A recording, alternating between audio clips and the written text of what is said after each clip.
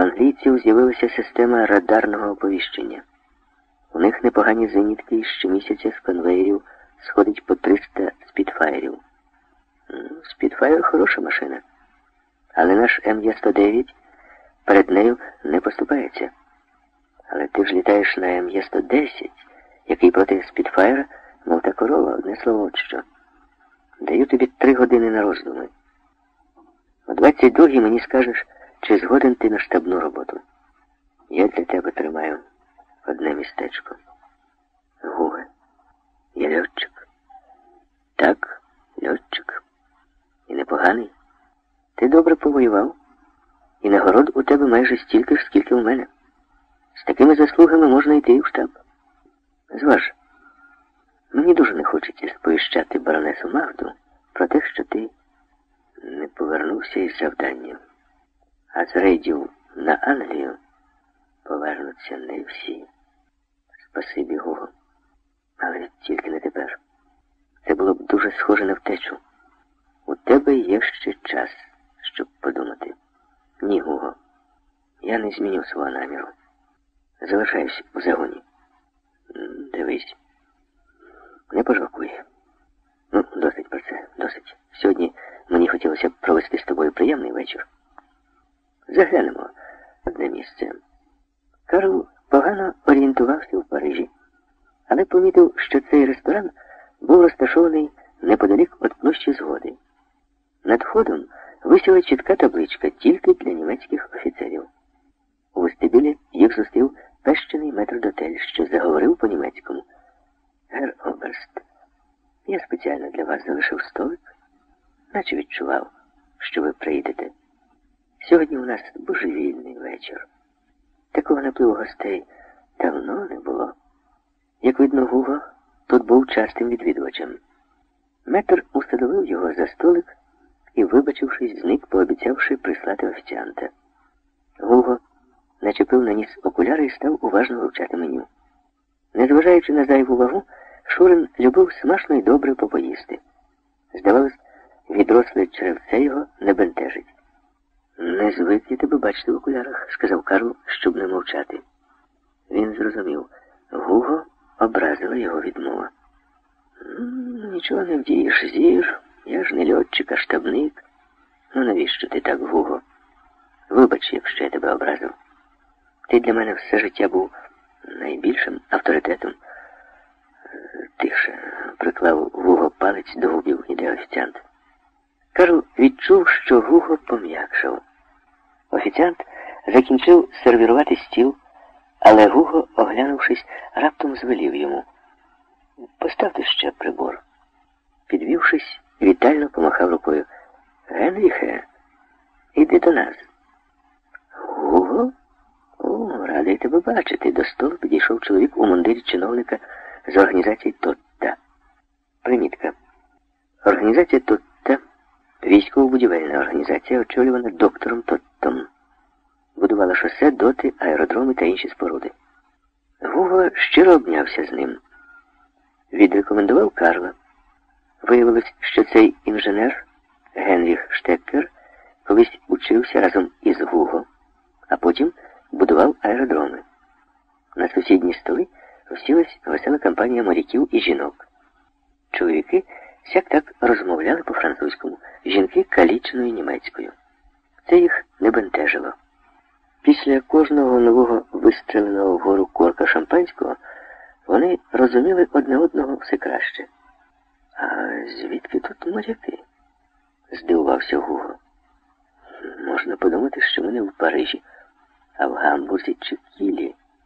Штекер оглянувся і привітно кивнув одному морякові.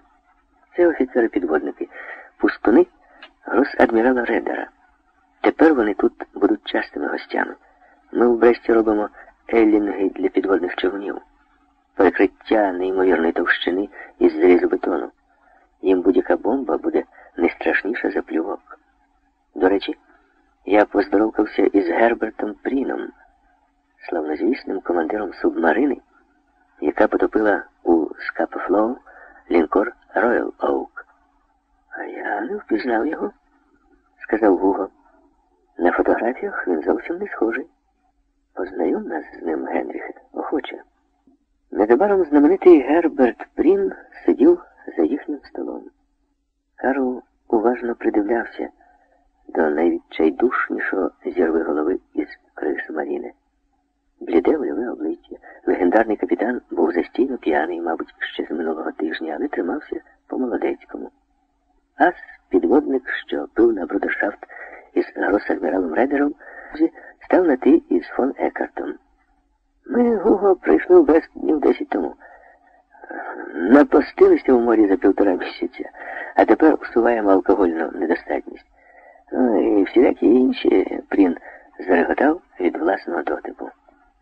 Він одним духом вихилив чарку коньяку і закурив сигарету. Всього цього ми позбавлені в плаванні. Вам, льотчикам, у чомусь можна позаздрити. Ви щодня бачите сонце і, виконавши завдання, повертаєтесь до людей. А навколо мене під час всього плавання лише екіпаж. Розумієте, екіпаж. Я не можу дозволити собі півтора місяця зав'язати з ним не службову розмову. Війну дістається всім, дипломатично зауважив Гуго. А вже ж, а вже ж, це так. Поглянь на моїх моряків. Їм зараз можна позаздрити гульня, вродливі кралі. Але вони марно намагаються забути у їхніх обіймах, що скоро знову в автономне плавання. Справді, він ляснув по столу долонею. Про нього зараз краще не згадувати. Він зовсім п'яний, зрозумів Карл, зазирнувши у його нерухомі розширені зіниці. Там під водою нас постійно гнітять очікування і прихований страх. Його ми намагаємось приховати якнайдалі, однак ти, Гуго, уявляєш, як вибухають поблизу глибинки, як здригається міцний корпус. Ну, звідки, Герберте? Я добре уявляю інше. Вибухи ворожих бомб і удари куль по літаку. Це моя третя війна. Адже я і в Іспанії був. Іспанія, лаври, апельсини, фанданго і корита. Боже, як би я хотів умерти в Іспанії, а не в мокрій могилі. Там під блакитним небом і смерть не така страшна. А нам незабаром знову лізти у тісну скупченість і задуху, де повітря навіть у командирській рубці відгонить ароматами матросського галіюна. Вогкість. З металевих трубопроводів стікають краплі конденсату. Здається, що саму субмарину приймає холодний піт. Підзаряджаємо акумулятори тільки вночі, як підемо в море, прощавай сонце майже на два місяці. Все плавання для командира підводного човна суцільна вахта, вона висотує душу і нерви. Прін запалив погаслу сигарету і обвів усіх поглядом, намагаючись згадати, хто його товариші по чарці і де він перебуває. Потім побачив своїх моряків, і в його свідомості все стало на місце. Не розумію, чого я розпозікався. Мабуть, я добряче п'яний. Ну, не судіть нас суворо. Кивнув він на морський стіл, де один з лейтенантів дрімав, поклавши голову в тарілку із залишками роздбіфа. Поруч із заснулим лейтенантом сиділа жінка яскрава, наче північне сяйво. Закинувши ногу на ногу, вона курила, втомлено мружачись від тютюнового диму і цілковитої байдужості до своїх клієнтів. Прін підвівся і попрямував до моряків. Він йшов по килимовій дорісті, немов по хисткій палубі. Коньяк кидав його із крену в крен не гірше від штормової хвилі. Гер Оберст окликнула Гуго брюнетка у несміливо декольтованій сукні. Ви сьогодні зовсім не хочете приділити нам уваги. Гуго зробив застережливий жест. Хто цей симпатичний Гауптман? Вела далі брюнетка, не звернувши увагу на його сигнали. Вибач, Ніколь, у нас сьогодні чоловіча компанія. Гуго постарався якнайшвидше відкараскатись від знайомої. Ну що, Карле, будемо прощатись? У нас завтра важкий день. А я ще посиджу тут, сказав Штеккер, не спускаючи погляду зі столика, до якого пішла ображена Ніколь.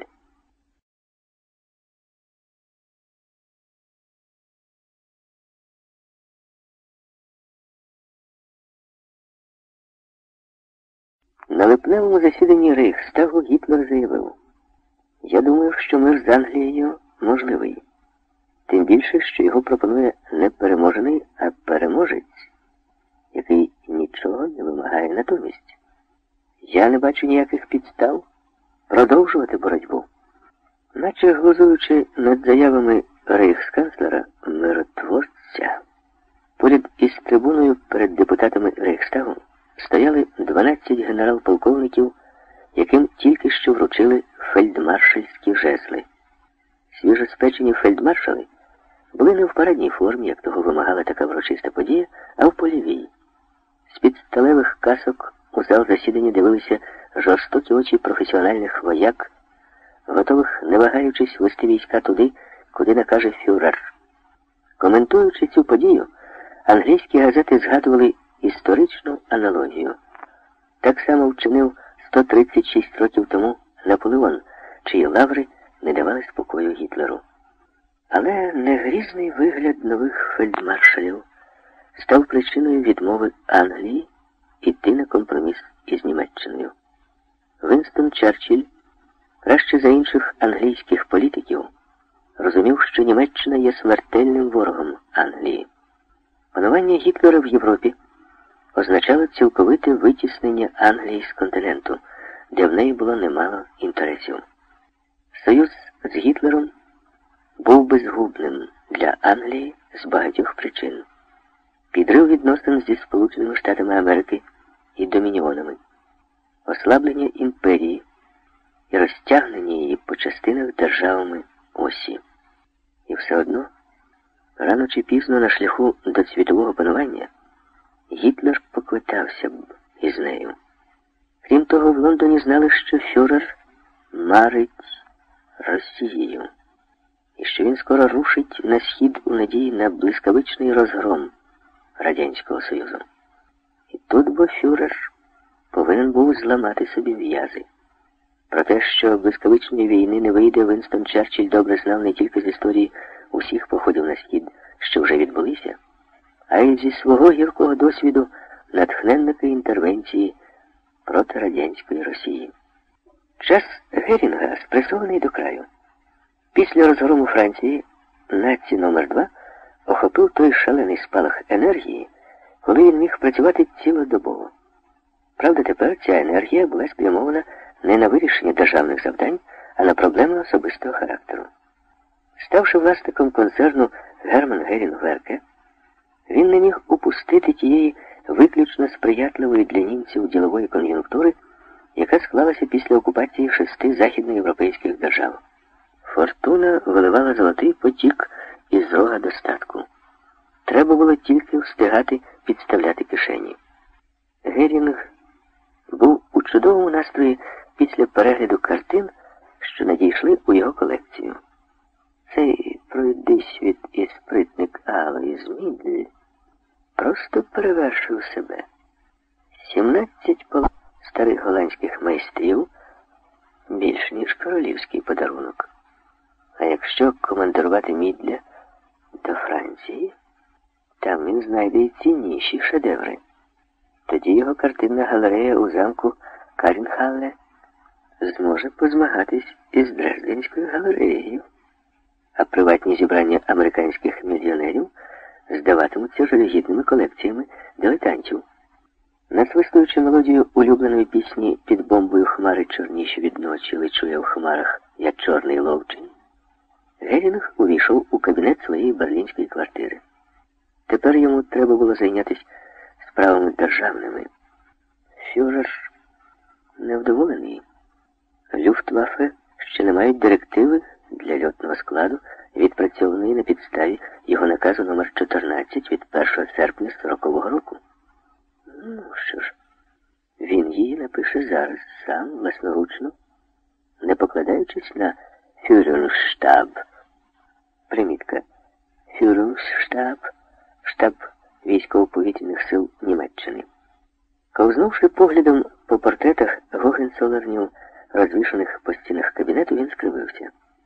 Після шедеврів, якими тільки намилувався, портрети здалися нікчемною мазаниною. Мабуть, пора їх прибрати. Вони вже зіграли свою роль вісім років тому, коли доводилось потурати смакам фінансових тузів, які субсидували нацистську партію. Герінг витягнув із сейфа папку з документами і сів за письмовий стіл. Тепер йому треба відволіктись від усіх особистих справ і приємних думок. Найкраще це йому вдавалось, коли він довго дивився на величезний двосічний меч, прикутий до стіни кабінету. В середні віки він правив кенігсберзьким катам за робочий інструмент, і не одну голову відділили від тіла ударом його широкого леза. Дивлячись на жорстоке знаряддя правосуддя, Герінг відчував, що і він стає, як колишні його власники, жорстоким і непохитним. Прочитавши ще раз наказ номер 14, Герінг почав квапливо писати. Іноді, перечитуючи написане, був невдоволений. Тоді він рвав аркуш і шпурляв його в корзину, а потім, трохи подумавши, починав писати знову. Коли стемніло, він не став вмикати електричне світло, а звелів запалити свічки, що стояли у величезних срібних канделябрах. Йому працювалося набагато краще при їх мерехтливому світлі. Закінчивши писати, він викликав ад'ютанта. Передрукуйте і відправте у штаб. Берн фон Браухич, класнувши підборами, сів за друкарську машинку. З-під клавішів з кулеметним тиском посипались літери, вишиковуючись у слова і фрази.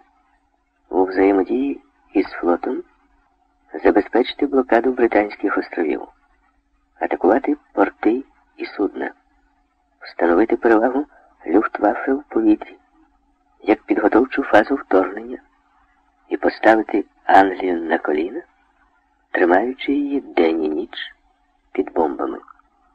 Льотчиків з авіагрупи Келленберга з директивою Герінга ознайомили на аеродромі Трувіль в Нормандії, куди вони прилетіли з Різденді. На той час небо над Ла-Маншем ще запеклої повітряної битви. Гуго мав рацію, попереджаючи Карла про майбутнє випробування. Тепер їм, сухопутним льотчикам, доводилось літати над широким водним простором. Трувіль від англійського узбережжя відділяли 150 кілометрів морської гладіні. І коли робили перший політ на штурмовку англійського конвою, вони себе у кабінах почували вельми незатишно. Виявилось, що над морем літати було набагато важче, ніж над сушею.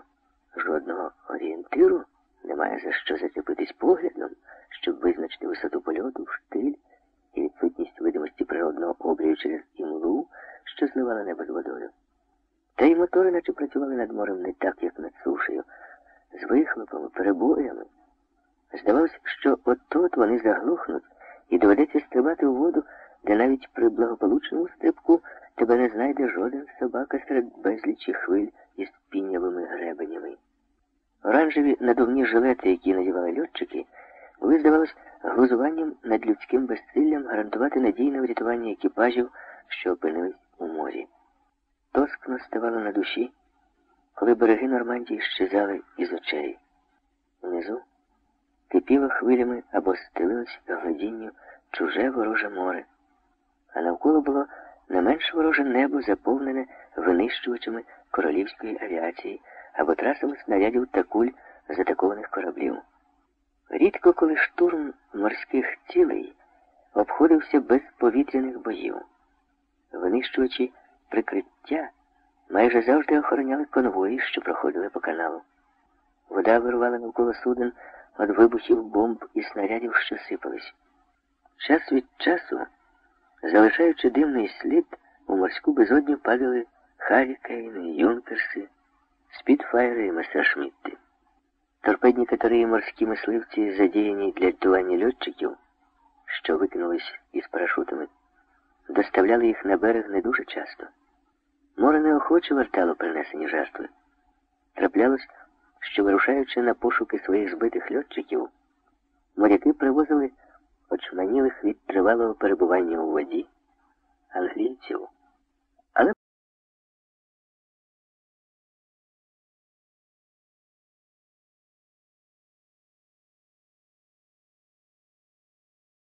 стали так само звичні, як і суша. З 5 серпня авіагрупа Келленберга почала діяти на об'єктах, розташованих на території Англії. Найчастіше це були авіаційні заводи або аеродроми базування винищувальної авіації. Тепер льотчики літали від світанку до темряви. Радіус дії МЄ-110 давав можливість здійснювати прикриття бомбардувальників. Тому Карлові довелося кілька разів літати на супроводження ескадри Х-111, що діяла на аеродромі в порту Саутгемптон. Після масованих нальотів бомбардувальників на місці будівель залишалось зорене поле. Проте, скільки загинуло людей під бомбами, Карл намагався не думати. Але до своїх утрат він не міг залишатись байдужим. За час боїв над Ла-Маншем загін фон Ріттена втратив три екіпажі. В інших загонах втрати були набагато серйозніші, але бойовий настрій льотчиків залишався високим. Вони чекали, що тут почнеться вторгнення на острови Великої Армади. Найзапекліші бої розгорнулись над Англією 15 серпня. В повітря піднялись літаки всіх трьох повітряних флотів, які базувались від Норвегії до острова Британь. Зібравшись у величезній зграї, вони потягнулися до намічених об'єктів. Над групами бомбардувальників, камуфльованих у світло і темно-зелені тони, велись рої месершмітів. Оператори англійських радарів ще ніколи не бачили на своїх індикаторах такої кількості цілей. Тривожні повідомлення їх надійшли на командні пункти винищувальної авіації. З аеродромів, розташованих поблизу узбережжя, стартували ескадрильї спідфайрів і харікейнів. Зібравшись у компактні групи, вони притискувались для маскування до самої горішньої кромки хмар і мчали на схід, прагнучи зустріти ворога ще за береговою смугою. В цей день, незважаючи на проведення масованих нальотів, командуючих повітряними флотами, не було на КП. Організацією бойових дій займались їхні заступники. Генерал-фельдмаршал Шперле, прилетівши у Кенігсберг, зустрівся на аеродромі із Кеселінгом і Штумфом. Усі троє командуючих вважали, що час виклику їх рейхсмаршалом Герінгом у свій прусський маєток вельми невдалий, але вони були старанними солдатами і дозволили собі тільки злегка поіронізувати над шефом. Ну, а що нам сьогодні покаже хазяїн? запитав у колег Шперле. Знову своїх призових жеребців? У Германа зараз нове захоплення, зауважив Кесселізінг. Він захопився колекціонуванням шедеврів живопису. Але у господаря маєтку знайшлися справи важливіші. Гості відзвітувались перед Герінгом про хід повітряних операцій. Після коротких дебатів рейхсмаршал вручив директиву про подальше використання військово-повітряних сил. Тепер головними цілями Люфтваффе ставали військово-повітряні сили Англії і об'єкти авіаційної промисловості. Іншими цілями кораблями, радіолокаційними станціями, промисловими об'єктами рекомендували в даний момент знехтувати. В цій же директиві Герінг, стривожений великими втратами льотного складу, наказав надалі у складі кожного екіпажу, який діяв над Англією, мати не більше одного офіцера. Майже весь серпень минув у запеклих повітряних битвах. Сили льотного складу винищувальної авіації військово-повітряних сил Англії були на спаді, але в ніч на 25 серпня стався епізод, який змінив увесь хід битви за Англію. Кілька німецьких бомбардувальників, які мали завдання знищити нафтосховище, розташоване у гирлі Темзи, через помилку штурмана скинули свої бомби на житлові квартали Лондона. Це несанкціоноване бомбардування столиці викликало там таке велике обурення англійської громадськості, що Черчилль змушений був вжити рішучих заходів. Вранці 25 серпня в усі штаби авіагруп Люфтваффе прибула телеграма розгніваного рейхсмаршала. Наказує негайно з'ясувати, які екіпажі минулої ночі, супереч наказу, скинули бомби на Лондон. Винні мають зазнати суворого покарання і підлягають переведенню в піхоту Герінг. Але ця телеграма і репресії до винуватців зруйнування церкви Сент Джайлз і повалення з п'єдесталу бронзового пам'ятника Мільтону вже нічого не могли змінити. Увечері 25 серпня 80 бомбардувальників Хемплден взяли курс на німецьку столицю. Штурмани з сумнівом і хвилюванням поглядали на польотні карти. Таке складне завдання вони виконували вперше.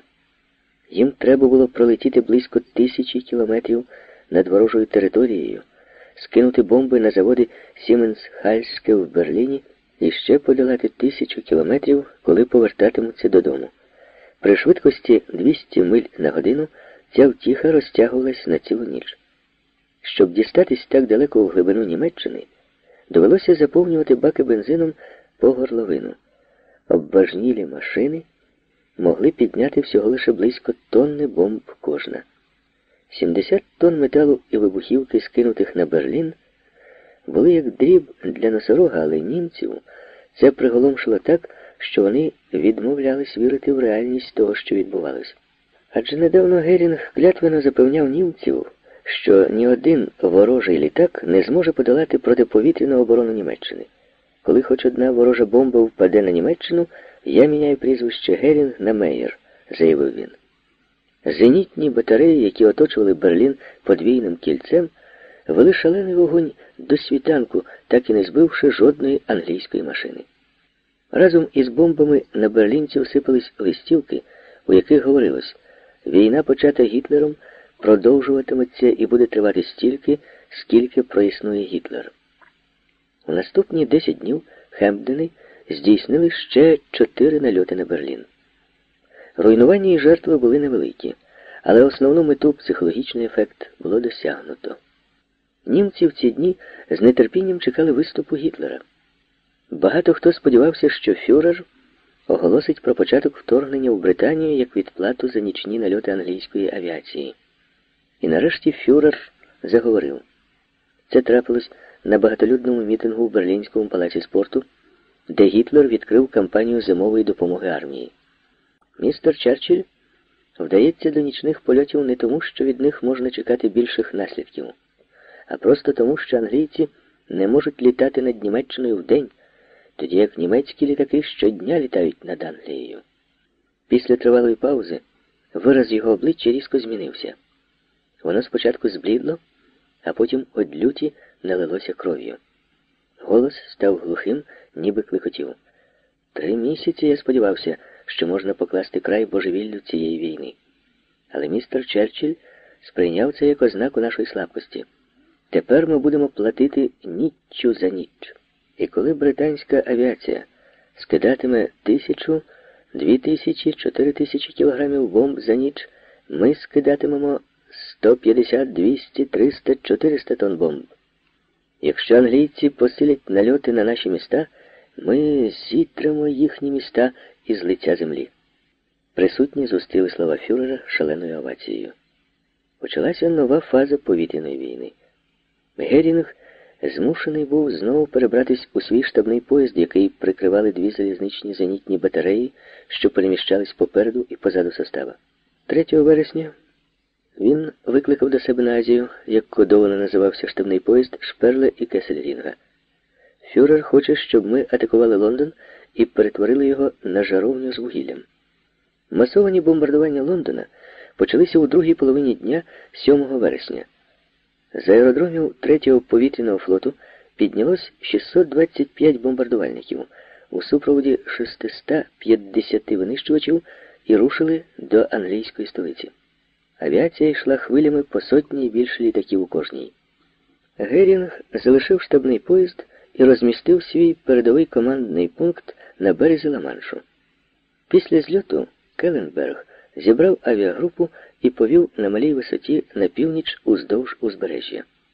За портом Гавр вони побачили величезну армаду бомбардувальників.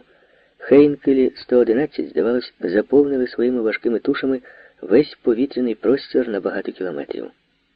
Карлові фон Ріттену, ведучому групи прикриття,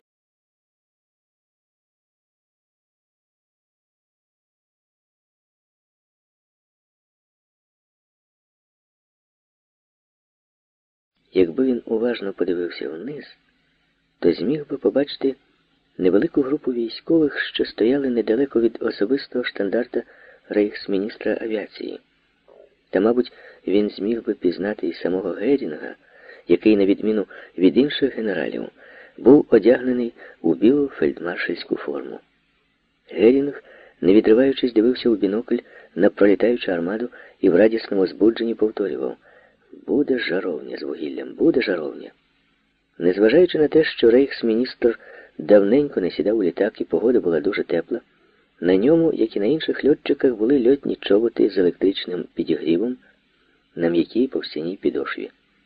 Цією деталлю Герінг хотів ще більше підкреслити свою безпосередню причетність до того, що відбувалося. Гуго, спитав він у Шперле, а це чиї ягуари з вищиреною пащею? Шперле глянув у бінокль, а потім на планову таблицю, що лежала перед ним на розкладеному столі. Це загін гончих псів авіагрупи Келленберга. Ними командує Гауптман фон Ріттен. А я знаю цього, хлопці, знаю. Ну що ж, побажаємо їм удачі. Неповороткі туші двомоторних хейнкелів, розмальовані чорно-зеленими патьоками камуфляжної фарби, повисівши над Ла-Маншем, перетнули берегову смугу між Брайтоном і Істборном.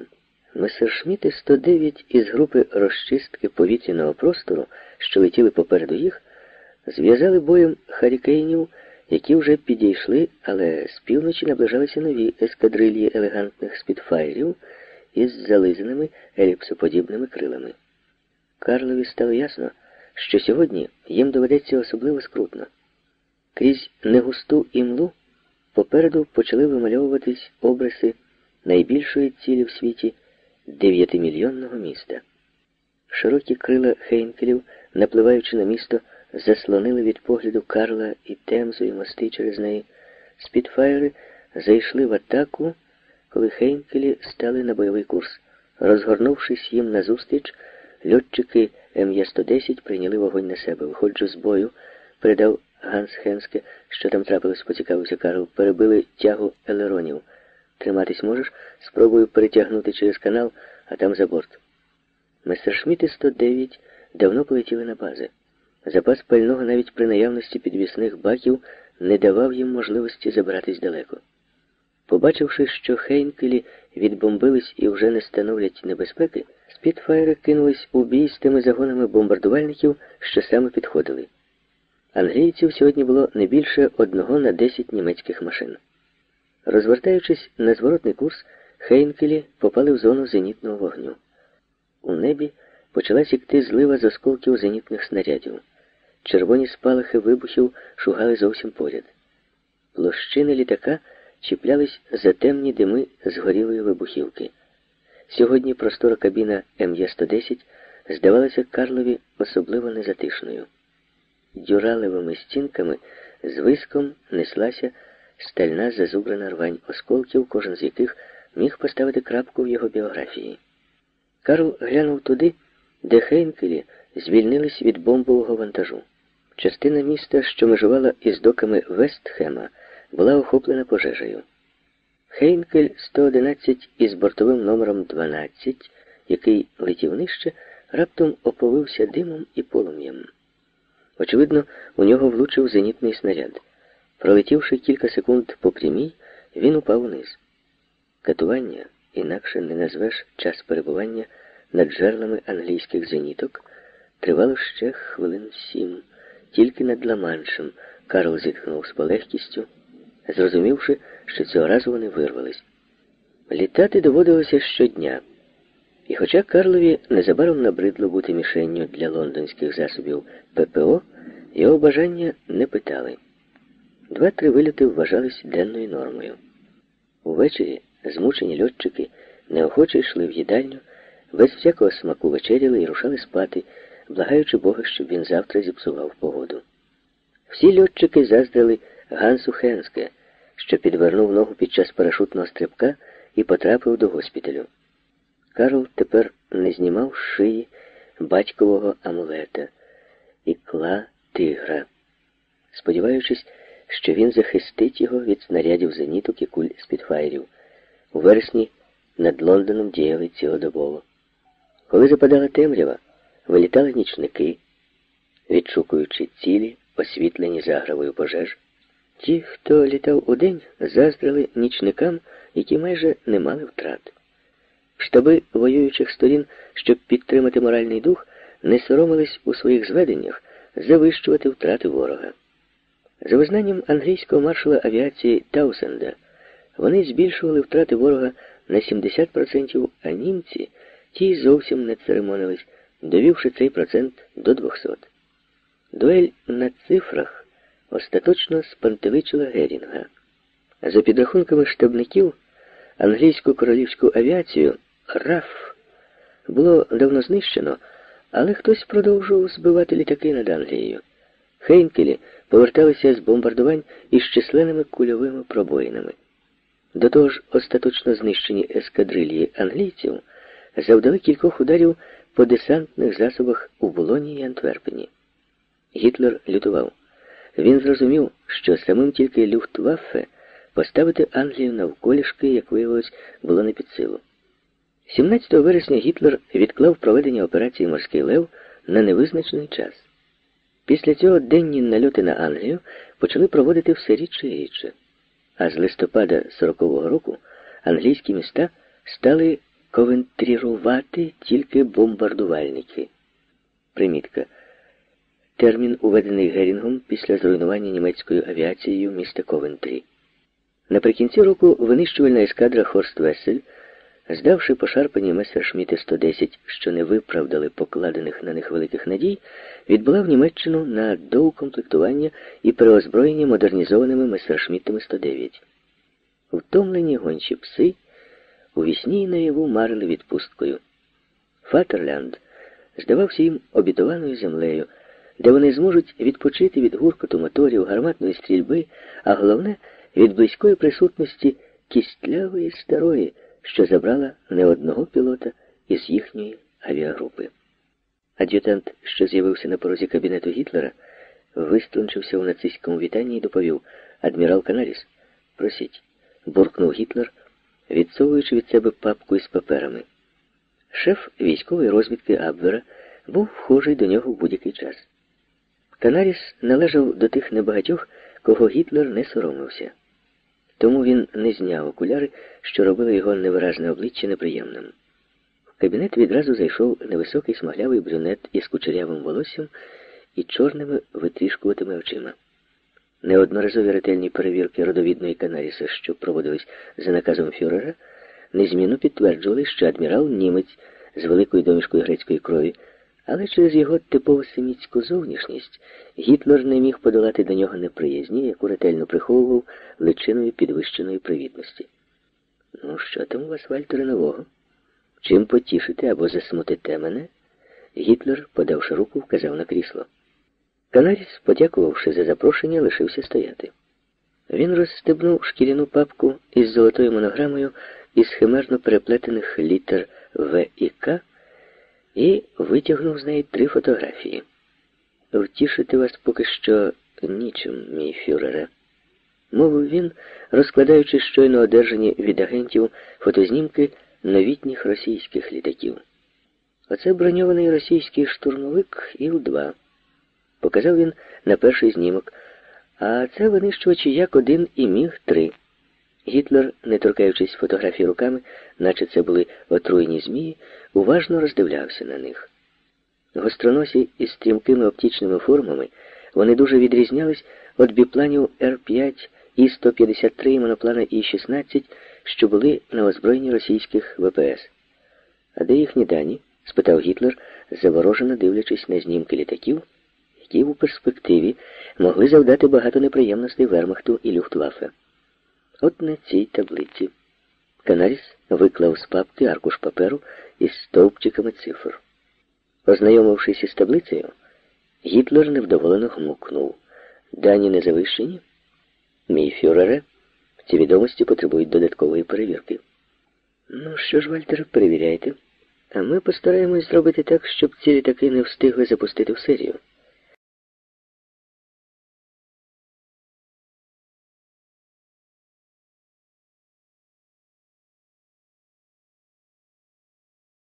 Але зробити цього фюреру німецького народу не вдалося. Події склались так, що до нападу на Радянський Союз фашистської Німеччини радянська авіапромисловість встигла випустити близько двох тисяч винищувачів, як один Міг-3 і Лаг-3, чотири з половиною сотні бомбардувальників П-2 і 250 літаючих танків Іл-2. Це була, звичайно, тільки крапля в морі застарілої техніки, яку мали на озброєнні радянські ВПС. Звісно, потрібен і час для переучування особового складу на нову техніку. Але головне, що заводи почали серійний випуск тих бойових машин, які з часом скажуть Вермахту своє вагоме слово. Розділ третій. Після відпустки авіагрупа Келленберга відбула у Лейпціг, де одержала на заводі новенькі Мессершміти 109. Тепер у загоні Карла командирами ланок стали лейтенанти Ганс Хенске і Руді Шмідт, а Ервіна Штімермана було призначено його заступником. Загін поповнився молоддю, що прийшла на місце пілотів загиблих над Англією. Веденим Карл обрав собі унтерфельдфебеля Гейнца Бютнера, нахабного і безстрашного молодика, що ухитрився заслужити залізний хрест в 19 років. Зима минула у тренувальних польотах по освоєнню МЄ-109Е, а навесні вони вирушили у турне по Балканських країнах. Услід за Францією настала черга познайомитись із німецьким окупаційним режимом Югославії і Греції. Балканська кампанія пішла на користь бойовій згуртованості авіагрупи Келленберга, мало не наполовину розбавленої молодими льотчиками. Злітавши на штурм беззахисного Білграда і поганявшись за нечисленними харікейнами над Пелопонесом та блакитними водами Егейського моря, вони, як молоді вовченята, що спізнали запах крові, влилися у зграю. У перших числах червня зібрану в один кулак винищувальну ескадру Хорст Вессель було перебазовано на східні аеродроми генерал-губернаторства. Чим ближче підходив час початку здійснення плану Барбароса, тим більше занепокоєння відчував Гітлер. Фюрер не сумнівався в успіху бліцкригу проти Росії, але наскільки він був би упевненіший, посилаючи дивізії на схід, якби на островах сиділа присмирніла Англія із зв'язаними мирним договором із Німеччиною руками. Навесні він почав нову серію дуже жорстоких бомбардувань Британських островів, вважаючи, що підштовхне ними Англію, мов коліном до столу мирних переговорів. Коли це не дало наслідків, Гітлер наважився на крайній засіб. 12 травня з аеродрому, розташованого на заході Німеччини, вночі стартував Местершмітт, пілотований людиною не дуже впевненою в своїй льотній майстерності. Вона прибула на аеродром в супроводі командира авіагрупи. На комбінезоні у неї не було знаків розрізнення, але, як видно, вона була із Бонз, бо командир авіагрупи виявляв їй підкреслену повагу. На кістлявому обличчі інкогніто застигла незмивна печать гордовитості, однак глибоко посаджені очі, що майже ховались під густими чорними бровами, були неспокійні. З його поведінки можна було здогадатись, що він узявся за справу, доля якої залишалася неясною. Літак злетів і швидко зник у темряві. Месершмітт пілотував ас Першої світової війни Рудольф Гесс, єдиний друг фюрера, якому дозволялось звертатись до нього на ти. Пізно вночі армійський патруль у Шотландії затримав льотчика, що дістав травму під час приземлення на парашуті. Пошкоджена нога не дала йому змоги відійти далеко від уламків Месершмітта. Після арешту він назвав себе і попросив доставити його в Лондон для зустрічі із кимось із членів уряду. Але переговори на високому рівні не відбулись. Після допиту Гесса припровадили в тюрму. Дізнавшись про провал місії Геса, фюрер наказав оголосити його божевільним і розстріляти осіб, причетних до його втечі. Тим гірше для вас, містер Черчилль. Ви ще раз відштовхнули мою руку. Я цього ніколи не прощу Англії. Гітлер від люті гриз нігті. Навіть люди із найближчого оточення в цей день сторонились його. На нараді у Бергхофі, де Гітлер ознайомив своїх фельдмаршалів із планом Барбароса, вони не втримались від захоплених вигуків, а ошалілий від радості рейхсмаршал Герінг виліз на стіл і вчинив канібальський танок. Видовище було не дуже привабливе. Гладкий чоловік тупав слонячими ножищами у лакованих чоботях, горлаючи від захоплення. Всі давно звикли до ексцентричних витівок наці номер 2 і цьому не дивувались. Гітлер підняв руку, заспокоюючи пристрасті, що розпалились, і продовжив нараду. Фюрер говорив, походжаючи по кабінету. Хоч на трибуні лежали якісь нотатки, написані великими літерами, він жодного разу не глянув на свої кривульки. На першому етапі війни з Росією, говорив Гітлер рівним голосом, ми використаємо всю нашу авіацію. Тому наказую ескадри перекинути на схід відповідно до планів передислокації. Проти Англії ми залишимо заслони з мінімальної кількості винищувачів. Після розгрому російської армії в прикордонній битві ми повернемо бомбардувальні ескадри і частину винищувачів назад у Францію і Фландрію. На сході ми залишимо тільки з'єднання, що будуть безпосередньо підтримувати війська. Я маю на увазі пікірувальники, військово-транспортну авіацію і деяку кількість винищувачів. Мій фюрере, підвівся Герінг, вибравши мить, коли Гітлер зробив паузу. 800 літаків у місяць, які ми зараз випускаємо, явно недостатньо для війни з Росією. Нам треба випускати тисячу бомбардувальників і тисячу винищувачів щомісяця. Тоді ми будемо спроможні панувати в повітрі і виконувати всі заявки наземних командирів. Гітлер жестом попросив його сісти. Боєготовність російських ВПС тепер оцінюється нами як вельми обмежена. Вважаю, що росіяни спробують подолати свою слабкість, але темпи нарощування могутності будуть азіатськими через їхню організаційну недосконалість. До кінця 41-го року ми обійдемось без розгортання авіаційної промисловості. А в разі потреби я накажу демобілізувати з сухопутних сил півмільйона чоловік і перекину їх на авіаційні заводи. Герінг беззвучно заплескав у долоні, висловлюючи радісну згоду зі словами фюрера.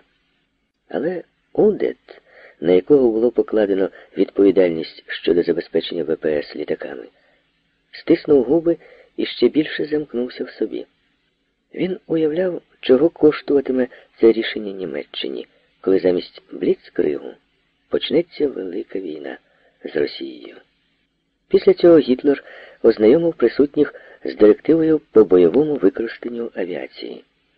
Нового в ній було мало. Рекомендувалось додержуватись тих методів, які виправдали себе в блискавичних війнах на Заході.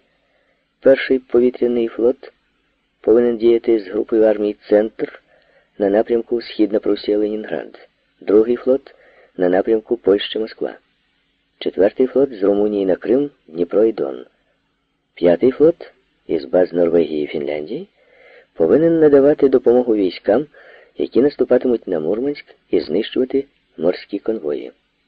Закінчивши нараду, Гітлер подивився на годинник. Секундна стрілка мчалась по циферблату, з кожним стрибком наближаючи день перший, початок вторгнення в Росію. На мить Гітлеру стало страшно від свого рішення. Він утер холодний піт із пополотнілого обличчя і тут же взяв себе в руки. Адже Генеральний штаб скрупульозно підрахував усе. Росія не зможе витримати ударів його танкових дивізій, що увійдуть у її тіло, як увіходить ніж у масло. Росія це колос на глиняних ногах, переконував він себе, намагаючись повернути собі колишню впевненість. Кивком Гітлер відпустив присутніх. Йому захотілося пройтись по лужку на самоті. Аеродромний вузол Демблін був забитий месершмітами і юнкерсами, а з заходу підходили все нові групи Хейнкелів і пікірувальників Ю-87. Гер Оберст, подзвонив Келенберг командирові ескадри Хорст Вессель. Треба вживати якихось заходів. На аеродромі стало тісно, як у труні. Нас так загородили штуками, що по тривозі я не зможу вирулити для зльоту. Штука назва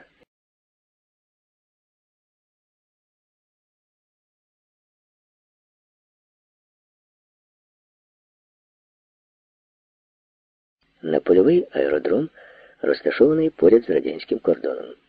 Там жили у наметах і штабних автобусах без будь-яких вигод та розваг. Руді Шмідт умовив Ганса Хенське прогулятись на хутір, що був недалечко для організації жіночого питання. Вернулись вони розчаровані. Виявляється, всіх поляків відселили від кордону. І на хуторі вони знайшли тільки старезного діда, що не розумів по-німецькому жодного слова. Кілометрів за сім від аеродрому протікав Буг, за яким у бінокль можна було розрізнити форти російської фортеці Брест-Литовськ. Укріплення, збудовані із червоної цегли, чимось нагадували Карлові Кенігсберські форти принц Альберт і принцеса Луїза. На радянській території було спокійно. Непомітно, щоб до кордону підтягувались війська. Зате на німецькому боці всі ліси і населені пункти були забиті піхотою, танками, артилерією. Якось Келенберг посадив льотчиків в автобуси і з'їздили на Буг, де скупались поблизу прикордонного поста. Півдня загоряли і плавали, відчуваючи на собі насторожені погляди радянських солдатів у зелених кашкетах. Протилежний берег був безлюдний, якщо не брати до уваги прикордонних патрулів, що зрідка проходили вздовж берега. Службовому собаці, якого вів на повідку солдат, не сподобалось пожвавлення на другому березі, і він спробував загавкати на чужих, але прикордонник поспішив його заспокоїти. Перед від'їздом на аеродром глушили рибу толовими шашками і гранатами. Ервін зауважив Карле, але ж такі розваги на прикордонній річці схожі на провокацію, можливо. Але я сам чув, як унтерштурмфюрер СС наказав начальникові прикордонного поста видати нам гранати. О, буде дипломатична нота. Навряд. Росіяни з усього видно не хочуть ускладнювати взаємовідносин з нами. Все одно скоро щось станеться. Бачиш, скільки військ нагнали? Як минулого травня на голландському кордоні. Одного разу опівдні, розстеливши чохол з літака, вони загоряли за хвостами месершміттів. Фон Ріттен, пригрівшись, почав дрімати. Карле, подивись угору. Гукнув йому Ервін. Він розплющив очі і глянув туди, звідки долинав приглушений відстанню гул кількох авіаційних моторів.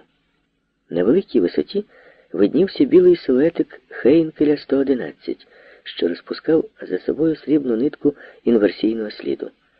Поруч із ним висіли три ледве помітні для ока радянські винищувачі, що позначили себе такими ж чіткими, але тоншими слідами. Це розвідник повертався з польоту в Росію, ескортований винищувачем І-16. Ввічливо провівши гостя до кордону, радянські льотчики круто розвернулись, щоб не порушити чужий повітряний простір. Залетів би сюди Іван, ми б його миттю зсадили, почувся голос Руді Шмітта, а вони по наших не стріляють. У нас з ними договір про дружбу на 10 років, відповів йому Хенське. А чого нас сюди стягнули зі всієї Європи, ти думаєш, на відпочинок? заперечив Руді. Мій ніс чує, що запахло смаленим. От де орденів нахапаємо. Дивись, не нахапай повний рот землі, порадив йому приятель. Після того, як Ганса підбили над Лондоном, він не дуже рвався у бій. По дорозі через Ла-Манш він набрався стільки страху, що йому повинно вистачити його на декілька років. Карл і Ервін мовчки слухали льотчиків. Було тривожно. Коли в битві за Англію вони втратили стільки пілотів, то що жде їх тут, в цій величезній і незрозумілій Росії? Таке саме внутрішнє напруження, як перед стрибком на лижах з високого трампліна, відчували і інші льотчики загону, вони принишкли. Не було чутно сміху, і навіть Руді замість розмов про молодиць говорив з Гансом про політику. Росіяни це тупі варвари. Вони жебраки, хоча й живуть на багатих землях. Вони ще брудніші, ніж поляки, і миються тільки на свята. Дурниці верзеш. Я бачив росіян в Аусбурзі, коли вони купували у нас месершміти. Росіяни цілком пристойні люди і добре вдягнені. Це вони вдягнулись у нас. А вдома вони ходять у полотняних сорочках, а замість взуття носять плетені з кори корзини. А тих, хто приїжджає до нас, за місяць до командировки починають одмивати з милом. Молоді льотчики, які слухали цю розмову, засміялись. Як же ви, лейтенанте, там будете ходити до Нечупар? Після 20 червня напруженість посилилася ще дужче. Люди відчували неминучість грізних подій. Здавалось, що вони потрапили в штильову зону, яка вузькою смугою переміщається перед грозовим фронтом. Ще хвилина півтори, і у нерухомих гілках та листі засвистить шквал, ламаючи суччя, а потім сяйне блискавка і важкий грім гряне на землю. В другій половині дня, 21 червня, зачитали звернення Гітлера до солдатів Східного фронту. Коли стало ясно, що війни з Росією не уникнути, люди примирилися зі своєю долею. Вони стали спокійнішими, неначе разом із невідомістю все найстрашніше лишилося позаду і почали виконувати свої обов'язки впевненіше і чіткіше. Фон Ріттен обійшов усі екіпажі свого загону, поговорив з механіками. Більшість з них вважали, що війна це справа фюрера і вищого командування, а їхня справа ревно виконувати свій обов'язок. Якщо когось і мучили сумніви, то їх ховали якнайдалі від сторонніх очей. Східний фронт простягнувся на тисячі кілометрів через усю Європу від Льодовитого океану до Чорного моря. На Кольському півострові був полярний день, в Ленінграді білі ночі, а на самому півдні чорнильна темрява, хоч око виколи. Незважаючи на це, командування визначило один і той же час для удару по російських аеродромах для всіх своїх повітряних флотів. Карлові не вдалося поспати цієї ночі, і в кабіну Месершміта він забрався злий і роздратований. Злітати треба було у темряві. На перший виліт призначили льотчиків-нічників, яких у загоні було четверо. Команду на виліт дали, коли на сході поблякли перші зірки. Мертву тишу порушили перші вихлопи даймлер-бенців, яких почали запускати. Зліт у Карла вийшов надзвичайно невдалий, бо на повному газу з вихлопних патрубків вибилось таке сліпуче полум'я, що він, не побачивши злітних вогнів, ухилився і відірвався навпомацьки. Бомбардувальники летіли без бортових вогнів, зовсім невидимі на фоні землі, що поринула у світанковій імлі. Карл догадався знизитись нижче від висоти їхнього польоту. Тепер чорні силуети рельєфно вимальовувались на червоному тлі зорі. Жахом віяло від цих страшних привидів, начинених смертю. Кордон залишився позаду. Карл визначив це по тьмяному зблиску води Бугу. А сьогодні ж неділя, чомусь подумав він, коли бомбардувальники почали витягуватись у колону, щоб скинути бомби на вузьку ціль. Внизу виднівся аеродром, на якому стояли сріблясті СБ, вирівняні під лінійку. Це було дивовижно. Війна в Європі тривала другий рік, а тут не було ні сховищ, ні зенітних батарей. Штурмани-бомбардири задоволено посміхались. Кращі цілі їм і не снились, та й небо було ніби зошит старанного учня, без жодної клякси від вибуху зенітного снаряда. Юнкерси робили останній захід на ціль, коли в повітрі з'явились п'ять тупоносих біпланів із своєрідним вигином верхнього крила. Це були радянські винищувачі І-153 Чайка. Вони з ходу ринулись на ближчих юнкерсів, розстрілюючи їх реактивними снарядами. Потім четвірка месершмітів зближалася з ними. Два юнкерси гримнулись на землю, а третій, димлячи лівим мотором, розвернувся в напрямі кордону. Атакований Карлом Біплан заклав такий енергійний віраж, що буквально через кілька секунд сів би їм з Гансом на хвіст, якби вони не пішли вгору, використовуючи перевагу месершміттів у швидкості. Хвапливо звільнившись від решти бомб, юнкерси рушили додому. Вслід за ними потягнулися і месершмітти прикриття. Розділ четвертий. Капітан Андрій Рогачов стояв біля свого літака. Трохи сутулячись, він поклав важкі лікті на консоль крила.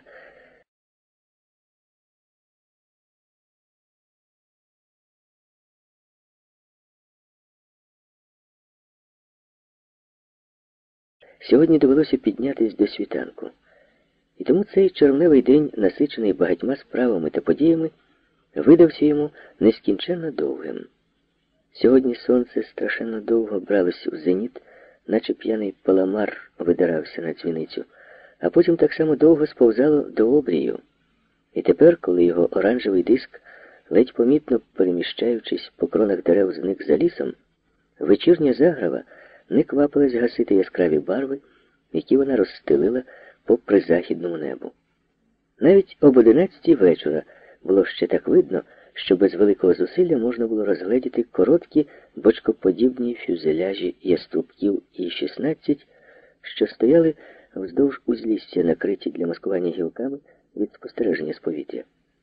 Сьогодні ескадрилья капітана Рогачова перелетіла на передовий аеродром підскоку, розташований поблизу самісінького кордону. Аеродром, а точніше злітний майданчик, містився на лісовій галявині, з якої спішно прибрали всі скирти свіжоскошеного сіна. Їх розосередили із забитого літаками основного аеродрому базування, коли над ними кілька разів пролетіли німецькі літаки-розвідники, що порушили кордон. І Рогачов розумів, що ці запобіжні заходи дуже правильні, хоча табірне життя в лісі не викликало особливих радощів. Вдень йому довелося багато похвилюватись, та й зараз вечір не приніс душевного заспокоєння. Зв'язок із штабом протягом дня переривався тричі. Причину порушення зв'язку встановити було неважко. Навмисний обрив. Другого разу зловмисники вирізали із телефонного кабеля метрів сто. Довелося нарощувати.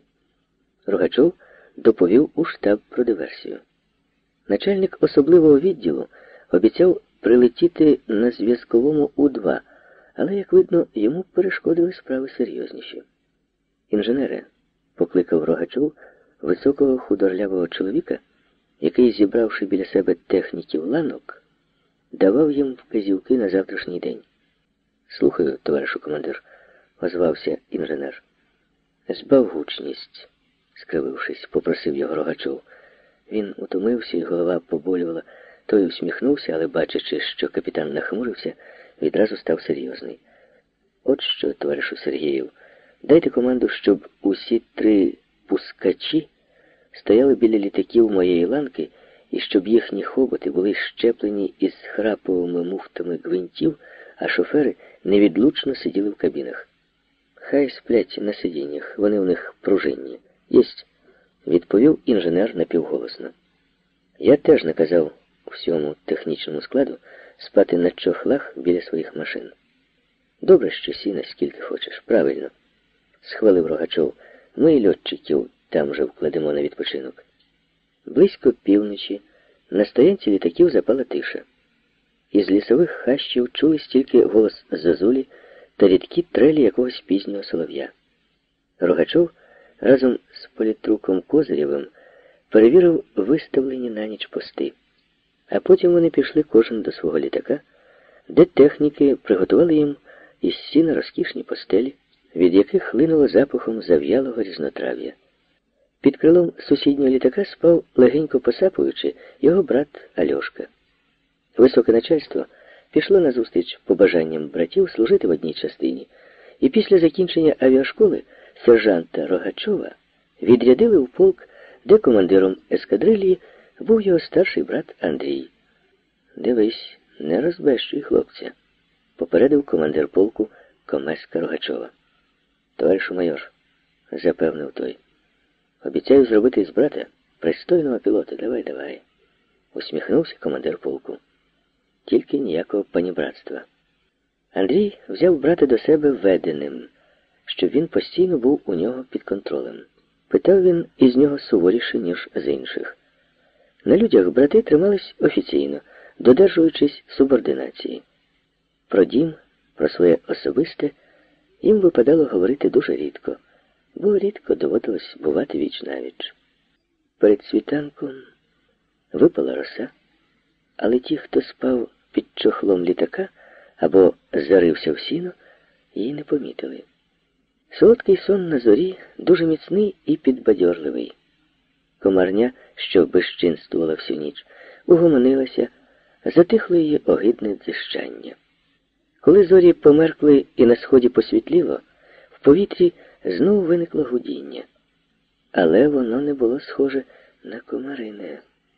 Воно долинало із заходу і було низьке, надсадне.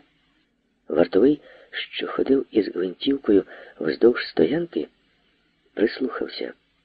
Він зрозумів, що гудуть літаки, багато літаків, і що гудуть вони не по-нашому. Товаришу капітан, товаришу капітан, прокиньтесь. Поторсав він Рогачова за чобіт. Що таке? Пробурмотів той, сідаючи і потираючи лице долонями, але, почувши гул чужих моторів, скочив на ноги. Гул накочувався з-за бугу. Рогачов зрозумів, що наближається велика група німецьких літаків. Підйом! крикнув він, щосили зриваючи голос. По літаках запуск і зліт. Через кілька секунд Андрій уже сидів у кабіні свого яструбка і з допомогою механіка готувався до зльоту. Стартер, змонтований на полуторці газ АА, розкрутив гвинт літака. Андрій вимкнув запалювання, і мотор запрацював, набираючи оберти. Пускач швидко від'їхав до наступного літака. В цю мить із чагарників, майже одночасно шиплячи, злетіли три жовті ракети. Висвітивши небо, вони лишили димні сліди, що схрестились над стоянкою літаків ескадрильї. Фашистська агентура позначила ціль для бомбового удару. За жовтими враз полетіли білі, освітлювальні. Вартовий, що збудив Рогачова, в цей час підходив до бензозаправників, які стояли під деревами. Почувши близько звук пострілу і шипіння жовтої ракети, що шугнула вгору, він скинув гвинтівку. При хисткому світлі ракет він розглядів постать людини, що причаїлась за кущем. Старанно прицілившись, вартовий спустив курок. Можливо, що цей убитий диверсант був першим у грізному рахунку знищених ворогів у війні, яку невдовзі назвуть Великою Вітчизняною. Рогачов злетів під свист падаючих бомб. Коли вони почали вибухати на стоянці і злітній смузі, в повітрі було вже три і шістнадцять. Решті льотчиків і техніків нічого іншого не залишалось, як сховатись у свіжовиритих щілинах. Проте, хто ще злетів, Андрій, звісно, не знає. Радіо у нього на літаку не було, а на тлі густої імли, що оплила землю, він не міг розгледіти своїх ведених. Тому він діяв один, розраховуючи тільки на себе. Вся увага Рогачова була прикута до дев'ятки Хейнкелів 111, яка, розвертаючись, готувала маневр для повторного удару по їхньому аеродрому. Зелений І-16 зовсім губився на фоні лісу, що темнів унизу, оповитий передсвітанковою імлою. Завдяки цьому Андрієві вдалося непомітно підійти майже впритул до масивної туші Хейнкеля і дати довгу чергу по його моторах та кабіні льотчика. Зачадивши, наче заводська труба, Хейнкель повалився вниз. Однак Андрій не встиг відчути радість перемоги, бо його відразу ж виявив ворожий стрілець. І 16 опинився у сплетінні доброго десятка кулеметних трас, що вдарили із строю бомбардувальників. Намагаючись вийти ковзанням з-під кинджального вогню стрільців, Андрій щосили натиснув на педаль газу, але, почувши важкі удари куль, які барабанили по мотору і фюзеляжу літака, зрозумів, що справи його кепські. Машина відразу стала некерованою. Мабуть, були перебиті тяги рулів висоти повороту, зменшивши газ пошкодженого мотора, що важко вібрував, він, згадавши інструкцію, перекрив пожежний кран і вимкнув запалювання. Висота падала. Хоч Андрій відстебнув прив'язні ремені, його міцно підсмоктало до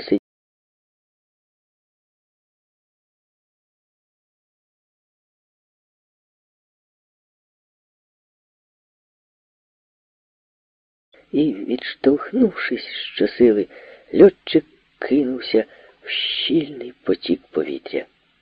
Коли з лісу на галявину, де догорали рештки знищених бомбардуванням літаків, вийшов, накульгуючи подряпаним обличчям капітан Рогачов, на нього дивились, як на воскреслого з мертвих. Він зняв з плеча перетягнений стропами клубок парашутного купола і, здивовано огледівшись, запитав, «А чому ви так на мене дивитесь? Доповідайте, що тут сталося, товаришу командир. Ми спостерігали, як падала ваша десятка. Я стрибнув на малій висоті, і ви не бачили мій парашут за деревами. Гаразд, гаразд. Круто змінив він тему розмови. Анциферов, доповідайте все по порядку. Командир ланки Анциферов, який не встиг запустити мотор до бомбардування, змушений був переждати удар Хейнкелів у щілині. З неї він вийшов уже безкінним. Його винищувач був знищений прямим попаданням німецької фугаски. Зліт виконали три екіпажі, розповідав він. Крім вас, устигли злетіти політрук Козирів і сержант Рогачов. Потім німцям вдалося покласти одну серію бомб уздовж стоянки. На землі знищено три літаки і два пошкоджено. Чотири літаки справні. Згорів один бензозаправник. Де зараз льотчики, що злетіли? Про політрука відомостей поки що не маємо. А сержант Рогачов, голос Анциферова, затремтів і, замовчавши, командир зняв пілотку. Як це трапилось? Глухо запитав Андрій, подолавши спазму, що перехопила горло. Йому розповіли, що Рогачов молодший атакував Хейнкеля над самим аеродромом. Два РСи, випущені по фашистському літаку, пройшли мимо цілі і вибухнули, не заподіявши йому шкоди. Тоді він здійснив три атаки, поливаючи бомбардувальник кулеметним вогнем. Але броньований літак продовжував летіти, мов зачарований. Коли в Олексії закінчились патрони, він врізався своїм літаком у хвостове оперення Хейнкеля. Певно, хотів обрубати фашистові рулі винтом, але не встиг зрівняти швидкості. Яструбок Олексія зніс Хейнкелю не тільки стабілізатор, але й кіль із рулем повороту. Де зараз Альоша? спитав Рогачов, говорячи про брата так, наче він був живий. Анциферов показав йому на кузов бортової машини. Побився дуже. Не впізнати. Тихо сказав він. Ставши на заднє колесо Зіса, Андрій заглянув у кузову. Там лежало щось безформне, прикрите закривавленим простирадлом. Він трохи підняв край і побачив знайомий Альощин чобіт із трохи збитим задником. Рука Андрія здригнулась. Дайте мені цигарку. Сплигнувши із машини, попросив Рогачову. Доки курив, збирався з думками. Ескадрилья була пошарпана і зазнала втрат, але ще існувала. І треба було нею командувати. Що робитимемо з убитими німцями? спитав інженер.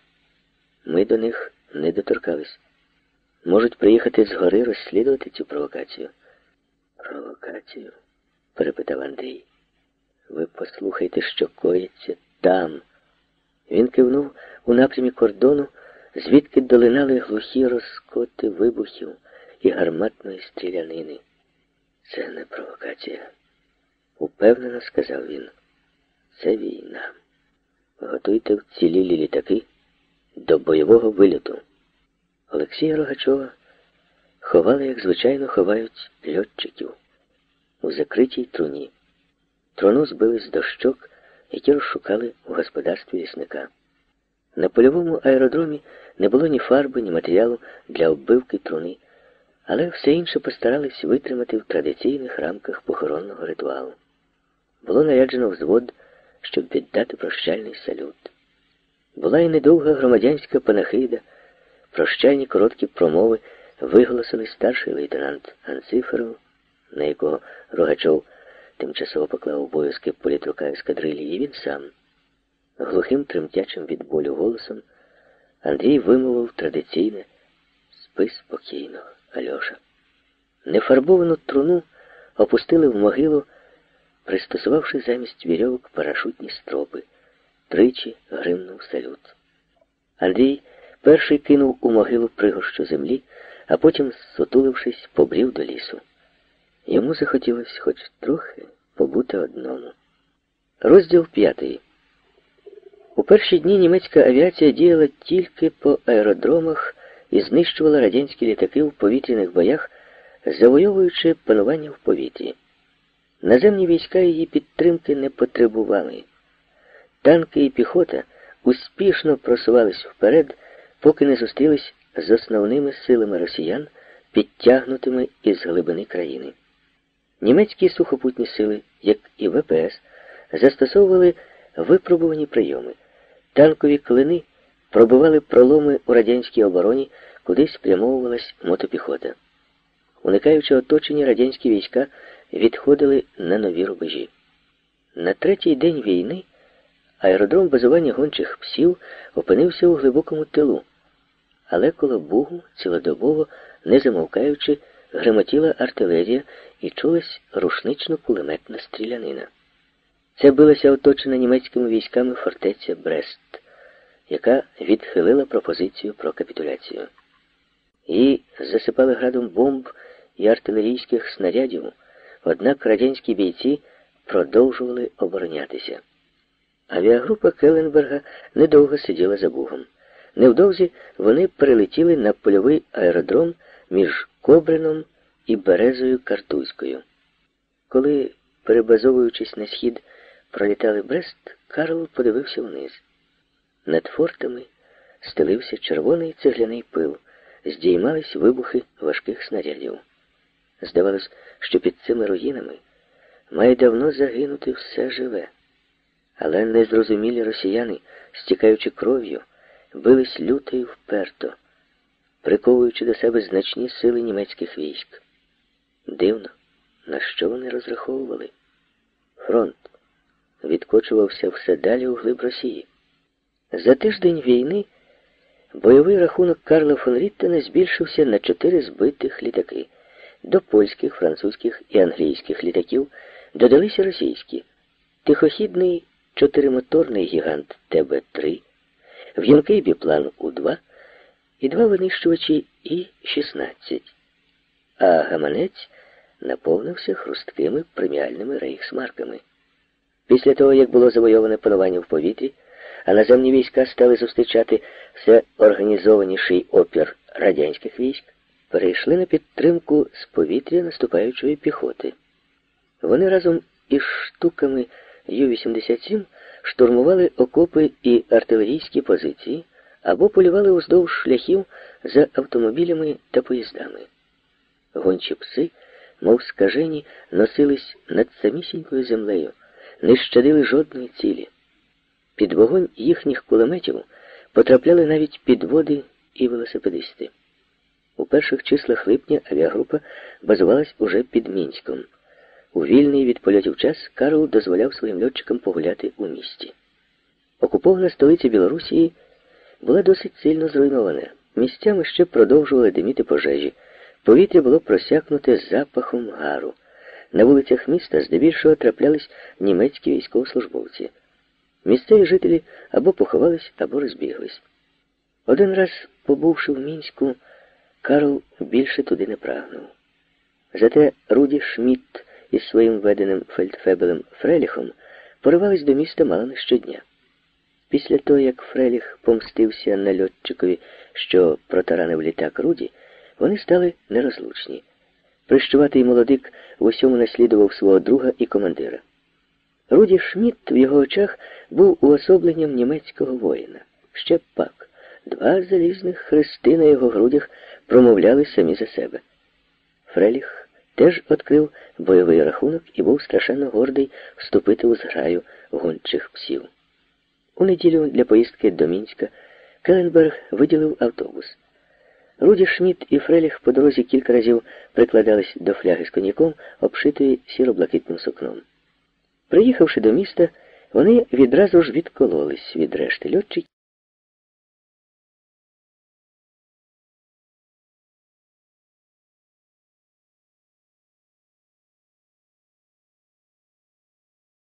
обурювався Руді.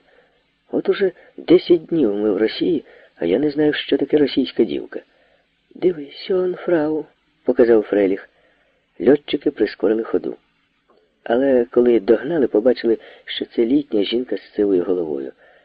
Практичної цінності немає, констатував Руді, розчаровано озираючись на всі боки. Фляга була порожня, коли нарешті вони побачили дівчину з відром. Полохливо оглядаючись, вона йшла до водорозбірної колонки. О, сказав Руді і, підморгнувши Фреліху, кинув за мною. Айн момент, Фройлен, зупинив він її, оцінюючи поглядом, чи не бажає російська панночка ощасливити німецьких льотчиків. Я не розумію по-німецькому, відповіла дівчина, намагаючись одійти від настирливих кавалерів. Ану, ходімо з нами. Фреліх стиснув її руку вище ліктя. Пустіть мене, крикнула дівчина, намагаючись випручатись із щіпких рук. Погань, вилаявся Руді, хапаючись за кобуру пістолета. Погрожуючи зброєю, льотчики затягнули ридаючу дівчину в зруйнований будинок. Вони не бачили, як парубок, що здалеку спостерігав за цією сценою, спритно перемахнув через паркан і, перебігши через вулицю, зник за рогом сусіднього будинку. Першим на вулиці з'явився Руді Шмідт. Він сів на лавиці і, викуривши сигарету, гукнув веденого. Фреліх, ти що там провалився? Тиша в руїнах насторожила Руді. Загнавши у ствол Вальтера патрон, він пройшов через обгорілий коридор і заглянув у кімнату, де залишив свого напарника з росіянкою. Фреліх лежав на дивані з продавленими пружинами. Біля дивана на підлозі розпливлась велика пляма крові. Там же валявся обрізок водопровідної труби з налиплим на ній білявим волоссям. Нищівний удар по голові, що проломив череп, був завданий явно чоловічою рукою. Розстебнута кобура пістолета Фрейліха була порожня. Руді стало страшно. В будь-яку мить тут могли пристрелити і його. Він вискочив з руїн і кинувся до найближчої комендатури. Ця небойова втрата збільшила до шести рахунок льотчиків, що в авіагрупі Келенберга загинули протягом двох тижнів східної кампанії.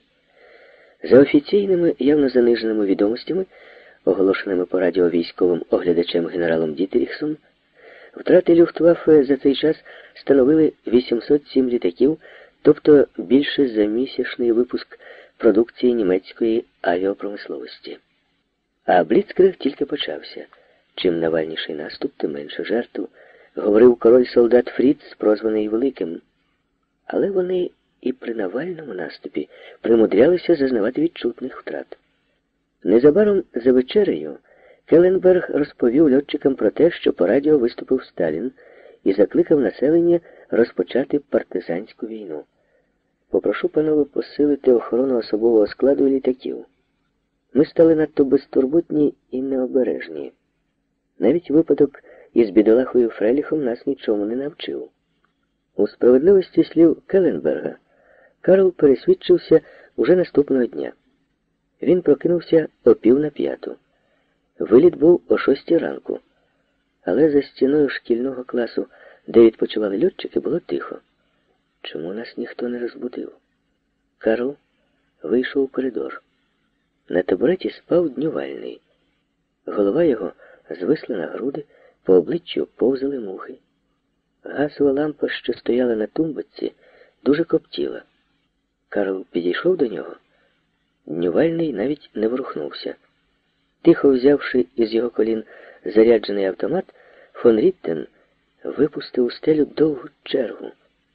Солдат од несподіванки звалився з табурета. Із класів у коридор повискакували роздягнуті льотчики з пістолетами в руках. Підійдіть сюди, похмуро наказав фон Ріттен. Коли всі підійшли, він вибухнув. Якби я був росіянином, то передушив би вас усіх, як тхір, забравшись в курятник. Чий це солдат? Мій зброяр. Неохоче признався Хенске. Охороняючи льотний склад, він спить так міцно, що не чує, як у нього на губах рояться мухи. Хтось із льотчиків, що стояли позаду, пирхнув. Панове, це не смішно. На перший раз за сон на чергуванні оголошує 10 діб суворого арешту. Прошу попередити ваших підлеглих, що надалі за такі злочини віддаватиму до суду. Мені соромно за ваших солдатів, лейтенанте Генске. Усі стояли мовчки, опустивши очі. Одягайтесь. Через десять хвилин від'їжджаємо на аеродром, сказав Карл, заспокоюючись. Нерви треба було поберегти для бойового завдання. Розділ шостий. Минав другий місяць війни. Темпи наступу німецької армії, як виявилось, були значно нижчі за ті, на які розраховував штаб оперативного керівництва ОКВ Верховного командування Вермахту. Якщо частини 4-ї польової армії, які прикривала ескадра Хорст Вессель, за перші 17 днів війни пройшли від Бреста до Орші 350 кілометрів, то за наступні 17 днів вони змогли просунутись тільки від Орші до Смоленська, що було трохи більше 100 кілометрів. Під час Смоленської битви Карл фон Ріттен уперше зустрівся у повітрі з новими радянськими винищувачами як один, які не поступались перед мессершміттами ні в швидкості, ні в маневреності. Зустріч ця була дуже коротка.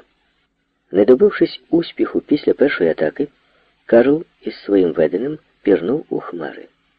Там же під Смоленськом радянські війська вперше застосували нову жахливу зброю реактивні міномети, які хтось охрестив катюшами. Напевно, на честь пісні мелодія її була популярна по обидва боки фронту. Губні німецькі гармошки награвали її не рідше, ніж російські трирядки й баяни.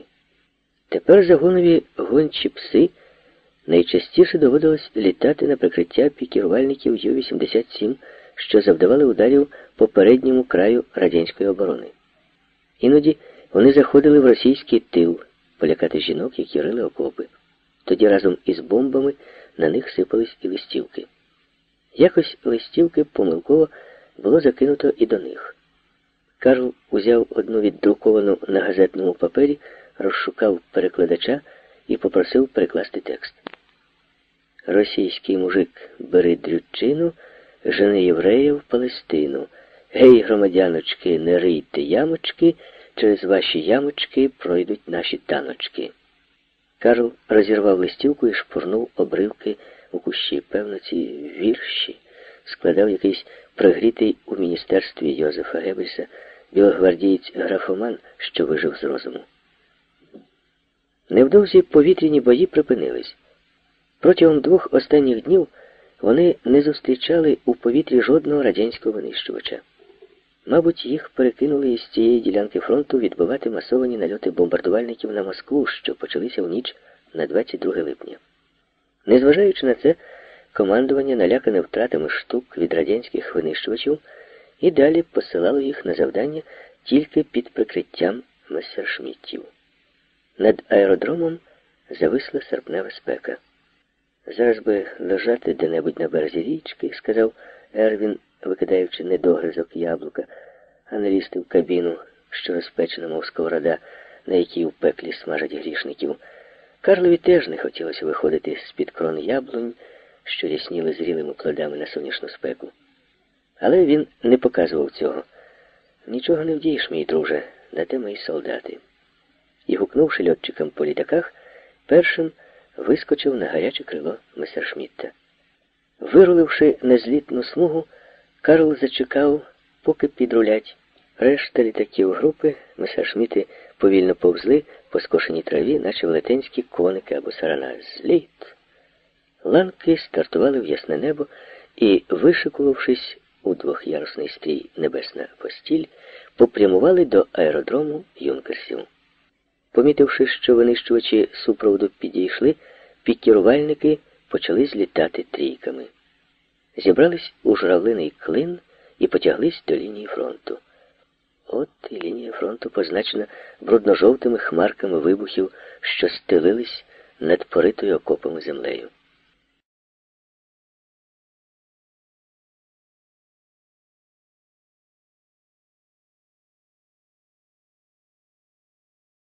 наче шуліка, розпушивши пір'я щитків, закрилків і гальмівних решіток, перекинувся у прямовисне піке. Масивні оптічники шасі, що не прибирались, надавали літаку вигляду птаха, який тримає в кожній лапі по величезному яйцю. Снайпер-пікірувальник поклав бомби точно у залізничний міст. Інші скинули на запасну ціль на жінок в строкатих сукнях, які рили окопи.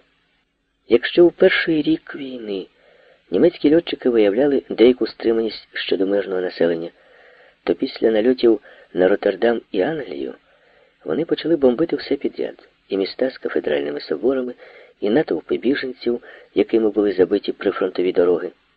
А в Росії вони лютували без обмежень.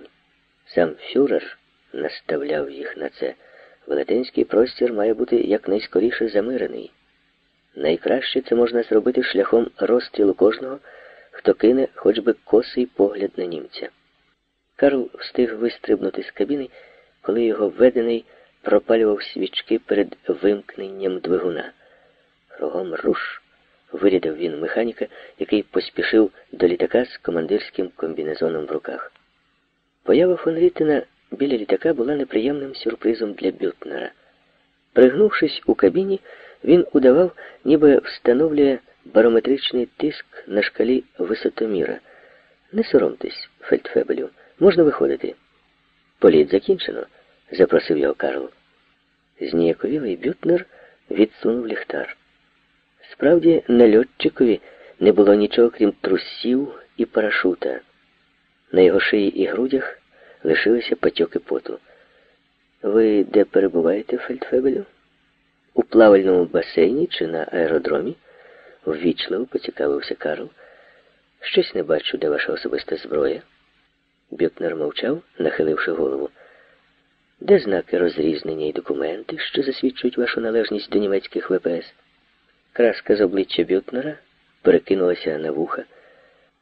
Що б ви робили, якби вас посадили після виконання завдання на інший аеродром? Над гончими псами потішалися б усі люфтваффе? Карл оглянувся. З-за всіх літаків на них дивились, усміхаючись, льотчики і механіки. Вигляд у Бютнера був такий мальовничий, що про предмет командирської розмови не доводилось сушити собі голову. Певно, це буде добра наука для зарозумілого молодика, подумав Карл і сказав. Хотів арештувати вас діб на дві, але обмежусь нотацією. Можете йти одягатись. Другий виліт робитиму з Хенське. А ви, Фельдфебелю, посидьте на землі і почитайте ті параграфи статуту, де говориться про правила носіння форми. Бютнер хвацько повернувся кругом, аж парашутний ранець, відокремившись, ляснув його по сідницях і подався строєвим кроком.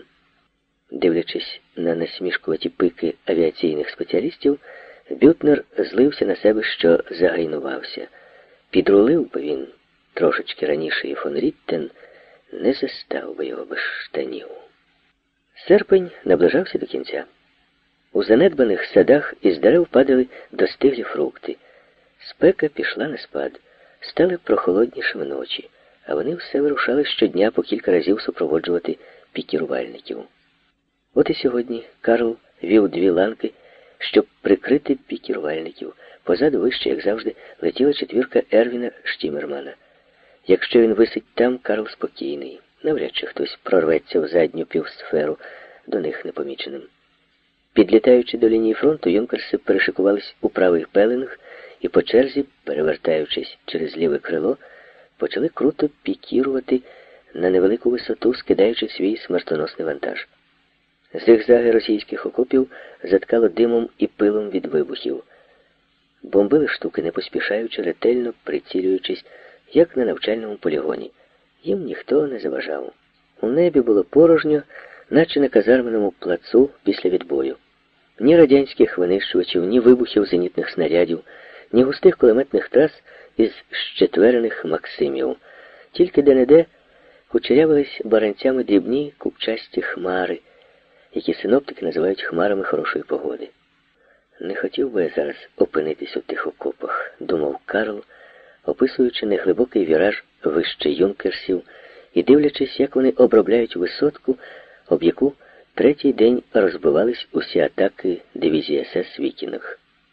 Не встигли штуки відійти від цілі, як на полі бою з'явилися німецькі танки. Сухопутні командири виконували настанову, яку вони вважали запорукою успіху піхоти, танки вперед, артилерію назад, авіацію нагору. На подив Карла висота, на якій, здавалось, не лишилось живої душі, зустріла вікінгів, що пішли в наступ вогнем. Кілька танків уже горіли, а решта, ведучи вогонь із сходу і коротких зупинок, намагалася увірватися на радянські позиції. Перешикувавшись у клин, штуки потягнули на захід.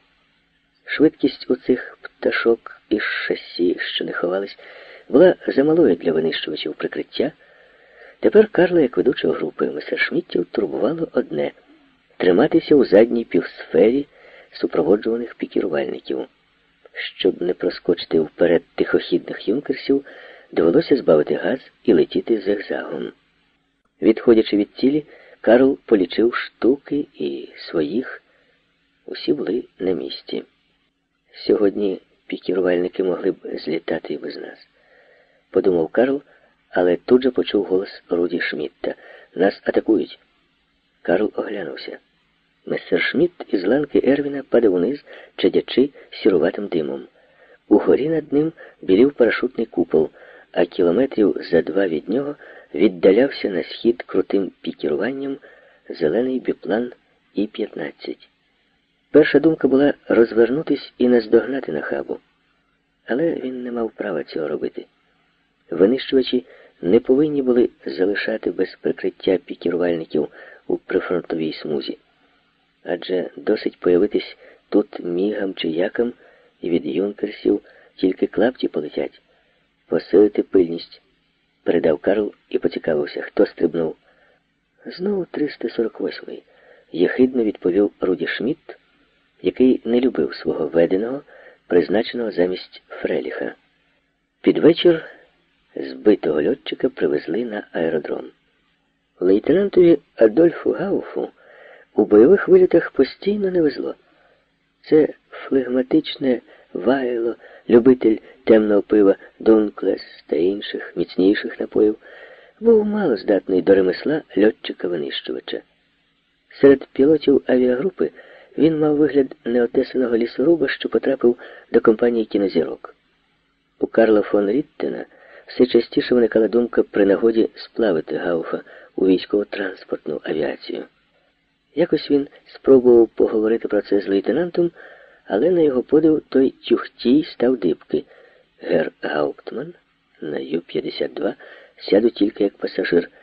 Мене призначили служити в авіагрупу винищувачів, і я в ній служитиму до кінця. Але ж вас уб'ють у наступному виліті. Не можна літати на повітряний бій із такими довгими коров'ячими рефлексами, скипів фон Ріттен. Мої рефлекси тут ні до чого, образився Гауф. Просто я спокійний, тоді як інші починають смикатись, побачивши вибухи снарядів російських зеніток. Ось тому вас і збили, що ви літаєте по прямій, коли треба робити протизенітний маневр. Карл тоді виявив, що від лейтенанта дуже тхнуло спиртним. Мабуть, Гауф полегшував свої душевні переживання, пов'язані з льотним невезінням міцною дозою шнапсу. І потім я б рекомендував якомога рідше прикладатись до пляшки. Петущий льотчик це певний кандидат у небіжчики. Треба постійно триматись у формі. Дізнавшись, що Гауф живий і неушкоджений, повернувся в авіагрупу. Карл пішов до Келенберга. Командире, звернувся він до нього. Заберіть від мене гладкого кретина Гауфа. Через нього ми втрачаємо третю машину. Він ледве вміщується в кабіні через свій жир, не в змозі повернути голову, щоб оглядатися, як це належить винищувачу. Докотився до такої ганьби, адже його сьогодні збив якийсь шалений росіянин, ризикнувши встряти у бій проти нас на І-15. «Е, послухайте, Карле, сказав по-приятельському Келенберг, дайте Гауфу спокій. У нього є волохата лапа у Міністерстві авіації.